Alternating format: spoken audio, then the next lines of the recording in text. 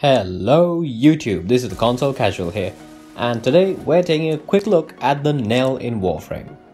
So the Knell is quite an interesting and unique pistol. It has only one round in its magazine, a 1 second reload time and only 10 rounds in total. Now the truly interesting thing about the Knell is the fact that it gains a buff on every single headshot. It will get increased critical damage and infinite ammo. Now unfortunately, because of how unique the Knell actually is, it's gotten quite a mixed response from the Warframe community. Some people love it while a lot of people say it's an absolute gimmick and it doesn't work for anything. Now me personally, I fall into the first category. I absolutely love the Knell for its power and the playstyle it forces on you. I like the fact that this weapon is not just a point and shoot like every other weapon there is. However, I think some people really put this weapon aside after a few uses not getting to utilize its full potential.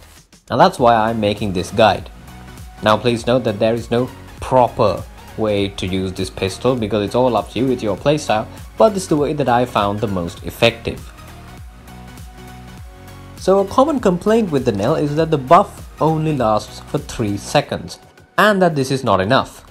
Now this is true. It's true that 3 seconds is a very short amount of time, but I think the real problem here is not the weapon itself, but how people approach using this weapon. You see, the Knell has been classified as a sniper pistol, a statement which I really don't agree with. When I hear the term sniper pistol, I think a slow firing weapon that does a lot of damage and should be fired slowly and precisely.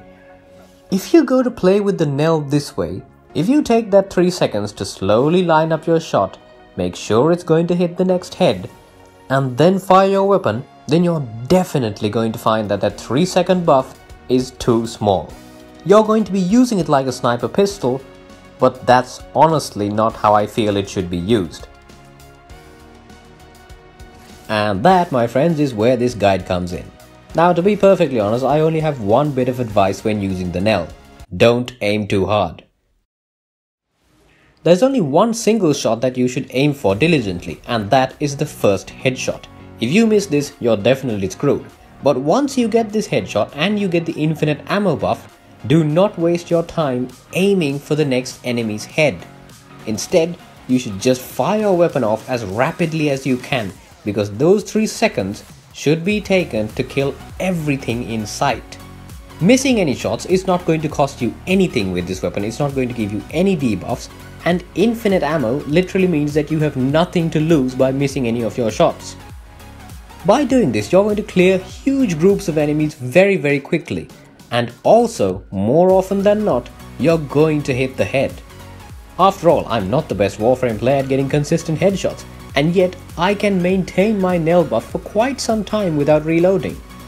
This is because I don't aim for the head in the shots once I get the Death Knell buff. If I were to do this, I would immediately run out of the buff, because it would take definitely more than 3 seconds. I'd also highly recommend you use the Warframe with mobilizing powers, something like maybe Nova's Molecular Primes, even Atlas's Petrify. The Knell of course works extremely well with Harrow, I mean it should, it is his signature pistol after all. You can easily chain down enemies to get them stationary and you can get huge crit chance buffs with Harrow's fourth ability.